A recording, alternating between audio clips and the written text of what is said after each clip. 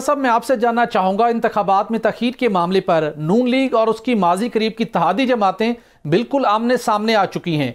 Pakistan peoples party हो, जमीयत इस्लाम हो, सब ये मुतालबा कर रहे हैं कि इलेक्शन जो आइन के अंदर दी गई मुद्दत है, जो कि नबे रोज़ है, उसके अंदर हर सूरत इलेक्शन होने चाहिए। लेकिन मुस्लिम लीग नून के कुछ रहनुमाओं की जानब से ऐसी जस्टिफिकेशन ऐसे बयान सामने आते हैं, जैसे कि नून लीग कन्विंस है कि इस मामले के ऊपर या तो खामोशी इख्तियार की जाए, या हल्का बंदियाँ हों, और उसके बाद जब इलेक्शन कमीशन चाहे नब्बे रोज के बाद इलेक्शन हो जाए, क्या वजह है कि माजी के अंदर आइन और कानून की पासदारी का दावा करने वाली नून लीग इलेक्शन के मामले के ऊपर अपनी इतिहादी जमातों के साथ खड़ी होती हुई दिखाई क्यों नहीं दे रही?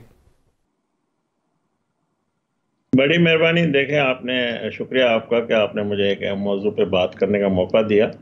बात यह है कि आपको भी पता है और सबको पता है कि जो सीसीआई की मीटिंग थी उसमें इत्तेफाक राय से जो तमाम सूबे थे और सूबों के अलावा वज़ी अजम शहबाज शरीफ साहब ने उस वक्त जो हमारे इतादी जो मिनिस्टर थे जो इतादी जमातों के स्पेशली तौर पे उनको भी उस मीटिंग में मदू किया गया था जी। और वहाँ पे इतफाक़ राय ये एक फ़ैसला हुआ था और उसमें मरदमशुमारी नोटिफाई की गई थी और ये भी आइनी तकाजा है कि जब ये नोटिफाई हो गया है तो इलेक्शन कमीशन ज़ाहिर है तो उस नए मरदमशुमारी के तहत ही इलेक्शन कराने का उन्होंने शेड्यूल दिया है। जी। और इलेक्शन कमीशन एक है जहाँ पे ये फैसले होने हैं। उसमें तमाम जमातों को उन्होंने मधु भी किया है और एक एक जमात से होकर उनकी मीटिंग हो रही जैसे हमारी भी कल हो चुकी है हमारे पार्टी के लीडर जो है वहाँ गए थे हम्म। और अपना मौकफ और इलेक्शन सब लोग चाहते हैं इलेक्शन हो इलेक्शन ही तमाम मसाइल का हल हो हल है और दूसरी साफ़ शफ इलेक्शन हो। अब जो उजलत में ये भी 2018 की तरह इलेक्शन ना हो तमाम पार्टियाँ अपनी तजावीज़ दे रही है। पीपल्स पार्टी की सीसी का जो कल इजलास साहब वैसे माजत के साथ 2018 वाली तब सूरत हाल ही नहीं है। उस वक्त जिन्होंने आपको पाबंद सलासिल किया हुआ था जिस टाइम के अंदर और जिनके साथ आपके गिले शिकवे थे अब तो सूरत हाल बिल्कुल मुख्तलिफ़ है। जो आपका सबसे बड़ा मुखालिफ था सबसे बड़ा जिससे आपको पोलिटिकल आपको थ्रेट था वो जेल में है उसकी जमात कहीं नज़र नहीं आ रही। तो अब वो 2018 वाली तो सूरत हाल हो ही नहीं सकती। जंगीर जदून साहब आपसे जानना चाहूँगा आप माहिर कानून हैं मरदमशुमारी के नतज सी सी आई ने अप्रूव कर लिए, बिल्कुल ठीक है।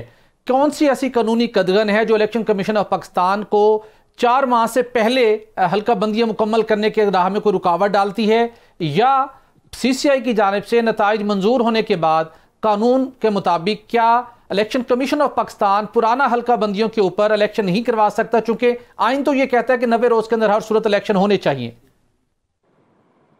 जी देखें इसमें सूरत हाल ये है कि इन्होंने इजलास जो सीसीआई का बहुत लेट समन करके एक डिसीज़न लिया है कि जी इलेक्शन में अब इनका जो कॉन्स्टिट्यूशन का मैंडेट है आर्टिकल 51 का सब आर्टिकल 5 का वो तो इन्होंने पूरा नहीं किया। जी। उन्होंने वो कॉन्स्टिट्यूशन ये कहता है कि जब आप मरदमशुमारी नोटिफाई करेंगे तो आप जो उस पॉपुलेशन की बेस पे सीटों के एडजस्टमेंट करेंगे यानी कि सीटें आप बढ़ जाएँगी या कम हो जाएँगी।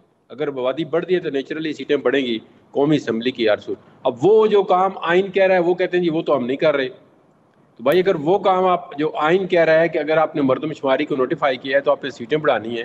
तो वो आप किस लॉ के तहत नहीं बढ़ा रहे? क्योंकि आपके पास कॉन्स्टिट्यूशन को अमेंडमेंट के लिए वो ही नहीं है। तो फिर आप डीलिमिटेशन क्यों कर रहे हैं?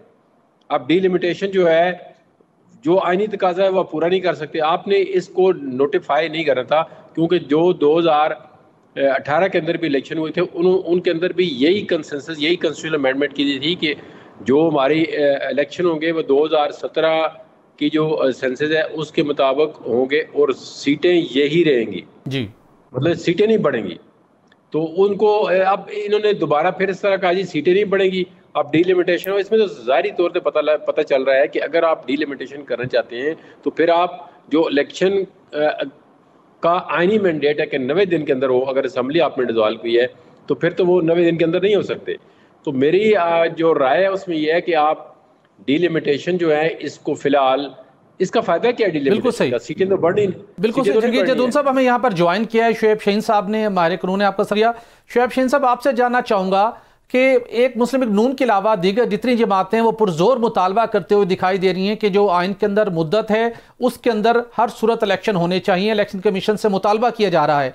लेकिन दूसरी जानब से ये बात मुसलसल सामने आ रही है कि चूँकि सीसीआई ने मरदमशुमारी के नतज मंजूर कर दिए, अब नई हल्का बंदियाँ होंगी। तो इसके अंदर दो चीज़ें आपसे जानना चाहेंगे, क्या इस, इन हालात के अंदर अगर इलेक्शन तखीर होने का खदशा है तो क्या पुराना हल्का बंदी के ऊपर इलेक्शन हो सकते हैं या नहीं? और अगर नई हल्का बंदियों के बाद इलेक्शन होने हैं और अगर नशस्तों की, कौमी असम्बली की नशस्तों की तादाद में कमी बेशी होगी, यकीनन सूबाई असम्बली की नशस्तों की तादाद में होगी, उसके लिए फिर आइनी तरमीम दरकार होती है। तो इन हालात के अंदर जब कौमी असम्बली मौजूद नहीं है आइनी तरमीम कैसे होगी? इस दोनों पॉइंट के ऊपर सर हमारे नाजीन को थोड़ा सा एजुकेट कीजिएगा। देखिए पहली बात तो यह है कि ये मरदमशुमारी का एक अलग चैप्टर है और इलेक्शन एक टोटल अलग चैप्टर है। इलेक्शन जो है वो बड़ा क्लियर है वो वाजे करता है आर्टिकल आप फोर्टी एट फाइव को पढ़ लें आर्टिकल वन ज़ीरो फाइव सब आर्टिकल थ्री पढ़ लें आर्टिकल टू टू फोर सब आर्टिकल टू पढ़ लें। जी। जब असम्बली अपनी मुद्दत पूरी करेगी तो वो होगा सिक्सटी डेज़ में इलेक्शन। यहाँ चूँकि असम्बलीज ने मुद्दत पूरी नहीं की सारी असम्बलीज डिज़ोल्व हुई हैं। बेशक एक दिन पहले डिज़ोल्व हूँ एक साल पहले डिज़ोल्व हूँ। हम्म। तो उसका पीरियड है नाइन्टी डेज़ बिल्कुल not later than ninety days इसके अलावा कोई और कंडीशन नहीं है। हम्म। आप मरदमशुमारी करें मरदमशुमारी ना करें उसको डिले करें। इलेक्शन डिले करने का कोई कॉन्स्टिट्यूशनल रीजंस नहीं है। एक बात तय है। दूसरा जहाँ तक मरदमशुमारी का ताल्लुक है ये तो इन्होंने सारी पोलिटिकल पार्टीज़ इंक्लूडिंग पीडीएम और पीपल्स पार्टी एक्सेप्ट पीटीआई ने ये फ्रॉड किया है बेसिकली कौम के साथ। ये दोगला पॉलिसी की है।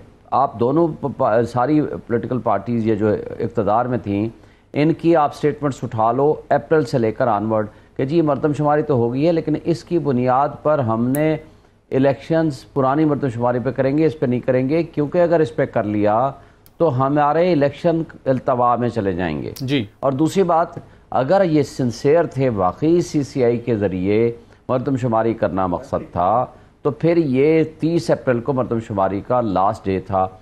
ये मे में अगर कोई ऑब्जेक्शन थे भी तो फाइनलाइज कर देते ये नोटिफाई कर देते सीसीआई को बिठा के। फिर पहली बात तो यह है कि सीसीआई की कंपोजिशन ही दुरुस्त नहीं है क्योंकि दो वजराए आला इस पर पॉलिसी डिसीजंस कर नहीं हम्म। सकते क्योंकि उनके तो नुमाइंदगी ही नहीं है क्योंकि पॉलिसी डिसीजंस करने के लिए ये ज़रूरी है आपके इलेक्टेड रिप्रेजेंटेटिव हों। फिर उसके बाद चलें हम फ़र्ज़ कर लेते हैं कि जी उस वक्त कर लेते। फिर आपको टू थर्ड मेजोरिटी चाहिए for the purpose of amendment in the constitution according to article 51 जो सीटों की तरदीब तब्दीली करनी है। अब उसके साथ तो फिर आपको पीटीआई को शामिल करना होता।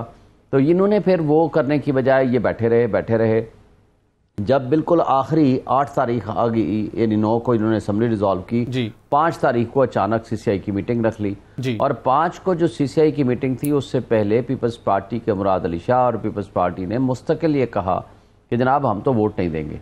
हमने तो इलेक्शन चाहिए विद इन सिक्सटी डेज़ और विद इन नाइन्टी डेज़ लिहाजा हम ये तो तो उसमें शामिल नहीं होंगे। हम्म। लेकिन गए और विद कंसेंसस और कोई ऑब्जेक्शन नहीं किया और ये बारूदी सुरंग बिछा दी सीसीआई की मिनट अच्छा, के ज़रिए यहीं पे मैं आपसे कंटिन्यू करूँगा नेक्स्ट क्वेश्चन करते हुए